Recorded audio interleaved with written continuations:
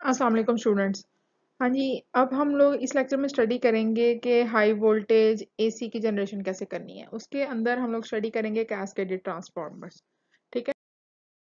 Cascaded transformers हमें क्यों चाहिए, ठीक है? कैस्केडिंग का क्या मतलब है कि आप मल्टीपल ट्रांसफार्मर्स को आपस में एक दूसरे से कनेक्ट कर दिया, आपने कैस्केड कर दिया। तो ऐसा हमें क्यों करते हैं? हम ऐसे क्यों नहीं कर लेते कि जो आपका एक ही ट्रांसफार्मर है, उसी को उसकी नंबर ऑफ़ वाइंडिंग्स या नंबर ऑफ़ टर्न्स वाइंडिंग किस तरह इंक्रीज कर लेंगे जो हमारी रिक्वायर आउटपुट वोल्टेज है वो हम ले लें। ठीक है? ऐसा क्यों नहीं करते? उसकी वजह होती है कि वेट जो है ना होल पूरे यूनिट का जो है वो वेट जो है वो ज़्यादा बढ़ जाता है। अगर आप एक ट्रांसफार्मर बनाएँगे, उसकी आपने आउटपुट 400 केवी से ज़्यादा लेनी है तो आप वाइंडिंग जब ज़्यादा करेंगे तो ओवरऑल वेट इंक्रीज करेगा, क्योंकि उसमें इंसुलेशन ज़्यादा होगी, हर चीज़ उसकी ज़्यादा होगी, ठीक है? तो जब वेट इंक्रीज करेगा तो हर चीज़ का खर्चा बढ़ जाता है खर्चा बढ़ जाता है ट्रांसपोर्टेशन का इंस्टॉलेशन का, हर चीज़ का, ठीक है? तो अब क्या किया आपने कि जब उसको छोटे यूनिट्स में डिवाइड करके आपस में जोड़ेंगे तो फिर इंडिविजुअल यूनिट्स को आप ट्रांसपोर्ट भी कर सकते हैं, ठीक है? जो सब डिवाइडेड आपने किया हुआ उसको इनटू सिंगल यूनिट्स उससे क्या होगा कि आपका ट्रांसपोर्टेशन का खर्चा भी कम हो जाएगा, आपकी इंस्टॉलेशन का खर्चा भी कम हो जाएगा और आपकी इंस्टॉलेशन भी आसान हो जाएगी, ठीक है? तो इसी तरह उन्होंने आगे लिखा हुआ है कि transformer cost for a given voltage में बी रिड्यूस ठीक है? तो आपने ज़ाहिर है एक, अगर आपने फाइव हंड्रेड के वी का ट्रांसफार्मर बनाना है तो उसके अंदर आप सौ सौ के वी वाले पाँच यूनिट लगाएँगे, ठीक है? तो हर इंडिविजुअल यूनिट की जो इंसुलेशन की कॉस्ट है, वो तो कम हो जाएगी ना? तो उससे आपका ये है कि जैसे कि आप 500 के वी पे इंसुलेशन करें आप हंड्रेड हंड्रेड के वी पे इंसुलेशन कर रहे हैं, ठीक है? तो इस तरह वोल्टेज के हिसाब से इंसुलेशन की आपकी जो सी है ना इंसुलेशन कॉस्ट वो डिक्रीज कर जाएगी और उस हिसाब से आपको फिर इस चीज़ का फ़ायदा होगा। ये हमारी फिगर है, ठीक है। इसमें हम एक्सप्लेन करेंगे कि कैस्केडेड ट्रांसफार्मर जो है, उसकी बेसिक वर्किंग प्रिंसिपल क्या है। इसके अंदर आप, ये वाली आपको स्टेजेस बताई हुई ये बेसिकली तीन ट्रांसफार्मर है, इसकी तीन स्टेजेस हैं। मतलब तीन यूनिट्स हैं, उनको बुला के एक सिंगल किया हुआ है। तो तीन कैस्केडिंग की स्टेजेस हैं नंबर वन नंबर टू और ये नंबर थ्री ये जो डॉटेड लाइंस हैं, आपकी ये इंडिविजुअल यूनिट्स को रिप्रेजेंट कर रही हैं। जो डॉटेड लाइन में आपके रिक्टेंगल्स बने हुए हैं, ठीक है? अब आप, हम यहाँ पे पहले यूनिट को देख लेते हैं। पहले यूनिट के अंदर देखें, एक ये वाइंडिंग है, एक ये वाइंडिंग है और एक ये वाइंडिंग है, ठीक है? ये आपकी प्राइमरी वाइंडिंग है।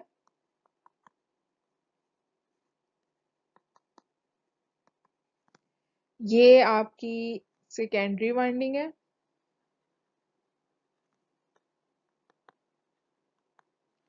और ये आपकी टर्शरी वाइंडिंग है।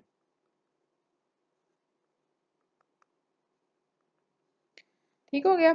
अब, अभी ये फ़िलहाल जो ये पीज है ना, इनको आप इग्नोर कर दें, ठीक है? इनको हम आगे जाके देखेंगे कि ये क्या चीज़ें हैं। फ़िलहाल आप इन्हें इग्नोर कर दें। अभी हम यहाँ पे वाइंडिंग्स की बात करते हैं, ठीक है? जो जिस तरह इसके अंदर तीन वाइंडिंग्स है नेक्स्ट स्टेज के अंदर भी तीन वाइंडिंग है, ठीक है? ये आपकी प्राइमरी वाइंडिंग है, ये आपकी सेकेंडरी वाइंडिंग है और ये आपकी टर्शरी वाइंडिंग है। इसी तरह इसके अंदर भी ये आपकी प्राइमरी वाइंडिंग है, ये सेकेंडरी है और इसकी टर्शरी नहीं है चूँकि ये लास्ट स्टेज है हमारी, ठीक है? अब प्राइमरी वाइंडिंग के जो नंबर ऑफ़ टर्न्स हैं, उनको मैं लिखती हूँ अगर एन पी और सेकेंडरी वाइंडिंग के नंबर ऑफ़ टर्न्स लिखती हूँ एन एस और टर्शरी वाइंडिंग के नंबर ऑफ़ टर्न्स में लिखती हूँ एन टी ठीक है? तो इसमें क्या जो इनकी क्या, जो इसकी करेक्टरिस्टिक है, इस कैस्केडिंग ट्रांसफार्मर में हर स्टेज की, उसमें क्या है कि जो आपके एन पी जो है ना, वो आपकी टर्शरी वाइंडिंग के इक्वल ही होंगे। यानी कि बेसिकली आपकी जो सेकेंडरी वाइंडिंग है, उसको मैं एन कैपिटल एन सेकेंडरी लिख देती हूँ। यानी कि ओवरऑल जो सेकेंडरी वाइंडिंग है, ये आपकी ओवरऑल सेकेंडरी वाइंडिंग है, इसको आपने दो हिस्सों में डिवाइड कर दिया है, एक ये हिस्सा, इसके नंबर ऑफ़ टर्न जितने हैं उनको मैं एस कह देती हूँ, और एक ये हिस्सा, इसके नंबर ऑफ़ टर्न्स को मैं एन टी कह देती हूँ, ठीक है? तो ये टोटल नंबर ऑफ़ टर्न्स जो से हैं, इसमें से जो एन टी है ना एन टी आपका एन पी के इक्वल है। ठीक है? उसकी क्या वजह है कि जो आप यहाँ से लो वोल्टेज इनपुट पे दे रहे हैं, वही इसकी टर्शरी वाइंडिंग पे वोल्टेज आए। क्योंकि इसकी जो टर्शरी वाइंडिंग है, इसने नेक्स्ट स्टेज की प्राइमरी को फ़ीड करना है। ठीक है? तो उसकी वजह से सेम नंबर ऑफ़ टर्न्स होंगे तो सेम इनपुट वोल्टेज जाएगा हर स्टेज पे। और सेकेंडरी के जो यहाँ ये वाले नंबर ऑफ़ टर्न्स हैं, ये भी सेम है तो सेम आउटपुट वोल्टेज आएगा हर स्टेज का। ठीक है? तो स्टेज वन का हमारा आउटपुट वोल्टेज अगर वी आ रहा है तो स्टेज टू के भी जो सेकेंडरी के टर्न्स हैं, उसके अक्रॉस आउटपुट वोल्टेज वी ही आएगा। लेकिन ग्राउंड के रिस्पेक्ट से ये और ये दोनों को प्लस करके V plus V two volt हो जाएगा। ठीक हो गया? अब यहाँ पर नोटिस करें कि सेकेंडरी जो है सब की आपस में सीरीज़ में कनेक्टेड है। ये देखें सीरीज़ में कनेक्टेड है, ठीक है? इसी तरह थर्ड स्टेज की आउटपुट की भी जो सेकेंडरी है, उस पर हमारा वोल्टेज V आ रहा है। लेकिन क्योंकि सीरीज़ में कनेक्टेड हैं तो इन दोनों को प्लस करके two V plus V ground के रिस्पेक्ट से हमारा ओवरऑल जो वोल्टेज है, वो थ्री वोल्ट आ गया। ठीक हो गया? इसको हम दोबारा एक दफ़ा शुरू से देख लेते हैं। उसमें ये देख लेते हैं कि ये हमारी प्राइमरी है। इसके number of turns same as the tertiary ठीक है? फिर इस टर्शरी का नंबर ऑफ़ टर्न्स सेम इस प्राइमरी के ठीक है? सेकंड um, की प्राइमरी के फिर सेकंड की प्राइमरी के number of turns same as the second tertiary और फिर सेकंड की टर्शरी का number of terms same as primary तो उसमें क्या होगा कि जो हमारा वी इन इधर है वही हमारा वी इन इधर होगा वही इधर होगा वही वी इन इधर होगा और वही वी इन इधर होगा। जब वी इन तीनों का सेम है, इसके मतलब ये है कि वी एस भी जो है ना, वो सेम होगा। वी एस हमारा फ़िलहाल वो वी के इक्वल है। तो इस स्टेज पे हमारा आउटपुट वोल्टेज वी आएगा। इस स्टेज पे भी हमारा आउटपुट वोल्टेज वी आएगा और यहाँ पे भी हमारा आउटपुट वोल्टेज वी आएगा। ठीक है? तो यहाँ पे ग्राउंड के रिस्पेक्ट से यहाँ तक हमारा वी वोल्टेज है। अब ये वाला वी प्लस ये वाला वी यानी कि वी प्लस वी ये ग्राउंड के रिस्पेक्ट से हमारा टू वोल्ट हो गया, ठीक है? फिर ये वाला वोल्टेज प्लस ये वाला वोल्टेज ग्राउंड के रिस्पेक्ट से हमारा टू वोल्ट प्लस वी ये थ्री वोल्ट हो गया, ठीक है? तो ये ऐड क्यों हो रहे हैं आपस में? क्योंकि ये सीरीज़ में कनेक्टेड है, ये इसके साथ सीरीज़ में कनेक्टेड है, ये चीज़ सीरीज़ में, ठीक है? फिर ये इसके साथ सीरीज़ में कनेक्टेड है। सीरीज़ में कनेक्टेड होने की वजह से इन तीनों का वोल्टेज आपस में एड अप हो रहा है। ठीक हो गया? होपफुली यहाँ पे आपको समझ लग गई होगी कि बेसिक कैस्केडेड ट्रांसफॉर्मर किस तरह वर्क कर रहे हैं। ठीक है? नेक्स्ट uh, हम यहाँ पे आते हैं। नेक्स्ट इस स्लाइड में इन्होंने वही जो मैंने अभी आपको बात पहले एक्सप्लेन की है वही वर्ड्स में लिखी हुई है। ठीक है? इसको हम अब जल्दी से देख लेते हैं। ये आपने ऑलरेडी देख लिया है तो अब आसानी होगी आपके लिए। ठीक है? The primary of the first stage transformer is connected to a low voltage supply ठीक है? यहाँ पे लो वोल्टेज सप्लाई है वी इन कुछ भी हो सकता है लो वोल्टेज ठीक है? वो यहाँ से हमें मिल रहा है। ठीक हो गया? अब voltage is available across the secondary ठीक है? कोई जो भी आपने नंबर ऑफ़ टर्न्स रखे हैं, उसके हिसाब से कोई भी वोल्टेज आपका यहाँ पे लो वोल्टेज सप्लाई है जो सी लो वोल्टेज सप्लाई आ रही है और आउटपुट वोल्टेज आपका सेकेंडरी पे जो है वो वी आ रहा है, ठीक है? तो जो आपकी टर्शरी वाइंडिंग है, इसके जो से हैं number of terms same as primary winding है, ठीक है? N P is equal to N T ठीक हो गया यही बात इन्होंने यहाँ पे लिखी हुई है। the tertiary winding of the first stage has the same number of terms as the primary winding, ठीक है? और इसके अलावा उन्होंने कहा है कि ये इसकी जो टर्शरी वाइंडिंग है, ये सेकंड स्टेज की प्राइमरी वाइंडिंग को फ़ीड कर रही है। फिर इसी तरह सेकंड स्टेज की जो प्राइम टर्शरी वाइंडिंग है, वो थर्ड स्टेज की प्राइमरी वाइंडिंग को फ़ीड कर रही है। तो बाकी उन्होंने आगे लिखा हुआ है, द जो टू वोल्टेज टू वोल्ट और फिर थ्री वोल्ट की यहाँ पे बात की हुई है तो ये वही बेसिकली बताया जो मैंने पहले बताया कि यहाँ पे इसकी जो सेकेंडरी है फ़र्स्ट की उसका वोल्टेज आ रहा है वी सेकंड की सेकेंडरी पे भी यहाँ वोल्टेज वी आएगा, लेकिन ओवरऑल टू हो जाएगा दोनों को प्लस करके।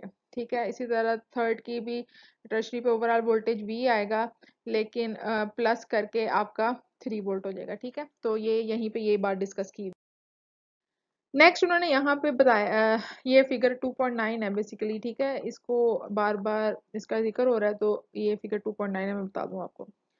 यहाँ पे उन्होंने बताया हुआ है कि मेटल टैंक जो सा है, वो ये जो फ़र्स्ट आपकी है ना, इसका जो मेटल टैंक है, ये ग्राउंडेड है, ठीक है?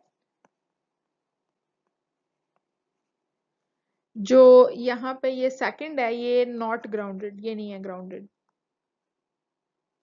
ये वाला मेटल टैंक भी नॉट ग्राउंडेड अब नॉट ग्राउंडेड होने से क्या है कि ये देखे ना, इसका जो वोल्टेज है, वो फ़र्ज़ करें वी पे है, यहाँ पे वी पे है और ये ग्राउंड के अलावा तो ये ग्राउंड के अलावा ये वाला वोल्टेज टू वी पे है. ठीक है, टू वी पे।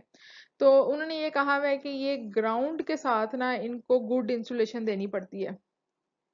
Good, solid insulation. ठीक है, ये बस यहीं पे इन्होंने यही बात बताई हुई है कि जो स्टेज टू और थ्री है ना, इनको सॉलिड इंसुलेशन दें क्योंकि इनका डायरेक्ट ग्राउंड के साथ कनेक्शन नहीं है और इनका वोल्टेज भी इनके अक्रॉस ओवरऑल ज़्यादा आ रहा है। ठीक है, यहाँ पे ये बात डिस्कस हुई हुई है। नेक्स्ट uh, हमारे पास बात आ जाती है ट्रांसफार्मर की लोडिंग की ठीक है? लोडिंग से मतलब पावर ठीक है? पावर यानी कि कितना आपका लोड है।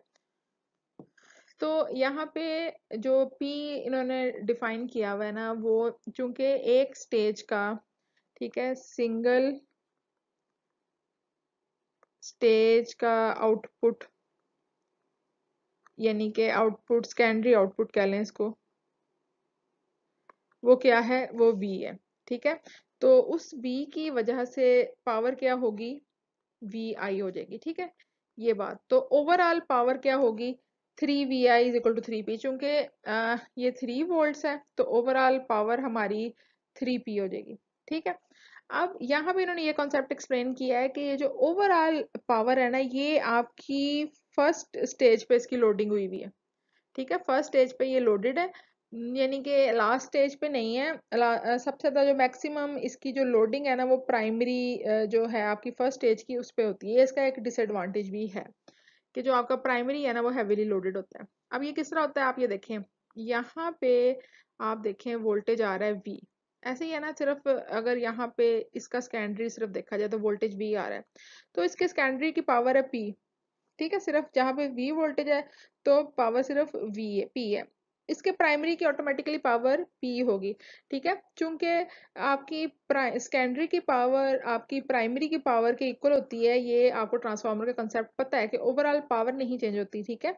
क्योंकि ये प्रोडक्ट होती है करंट और वोल्टेज का तो अगर प्राइमरी का करंट ज़्यादा है तो सेकेंडरी का करंट कम हो जाता है।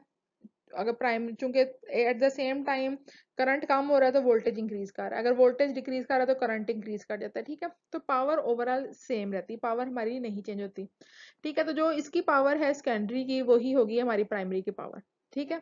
अब जो इस प्राइमरी की पावर है, वही सेकेंड के टर्शरी की पावर है, ठीक है? चूँकि सेम वाइंडिंग फ़ीड कर रही है सेम वोल्टेज फ़ीड हो रहा है।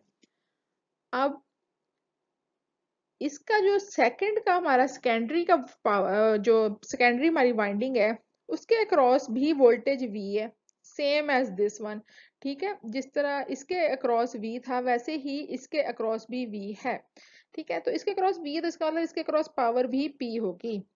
लेकिन अब जो इसका प्राइमरी है, उसके अक्रॉस पावर पी नहीं होगी। उसकी वजह यह है कि ये ओवरऑल ट्रांसफार्मर को आप देखें ना इस ओवरऑल ट्रांसफार्मर में बेशक इसको हम टर्शरी वाइंडिंग कह रहे हैं, लेकिन एक किस्म की ये ओवरऑल एक सेकेंडरी कह लेना इसको, चूँकि ये जो प्राइमरी है ना, इसी ने इन दोनों को, इन दोनों में वोल्टेज इंड्यूस किया। इसके दोनों के नंबर जो आपके, इन दोनों के नंबर ऑफ़ टर्न्स सेम थे तो इन दोनों में वोल्टेज सेम इंड्यूस हो गया, इसके नंबर ऑफ़ टर्न्स थोड़े ज़्यादा थे तो इसमें ज़्यादा वोल्टेज इंड्यूस हो गया। लेकिन बेसिकली इसी प्राइमरी वाइंडिंग से ही इन दोनों वाइंडिंग्स पे वोल्टेज किया, यानी कि इसी की पावर गई है दोनों पे। तो जो आपकी प्राइमरी वाइंडिंग के अंदर पावर होगी ना, वो इन दोनों को ऐड करके होगी। ठीक है? इन दोनों को प्लस किया आपने, इन दोनों की पावर को प्लस किया तो आपके पास इसकी प्राइमरी की पावर आएगी। ठीक है? तो इसकी प्राइमरी की जो पावर है, वो ही फ़र्स्ट स्टेज की टर्शरी की पावर होगी। अब फ़र्स्ट स्टेज की जो सेकेंडरी की पावर है, वो फिर से पी होगी, चूँकि इसके अक्रॉस चूँकि वोल्टेज वी आर है। ठीक है?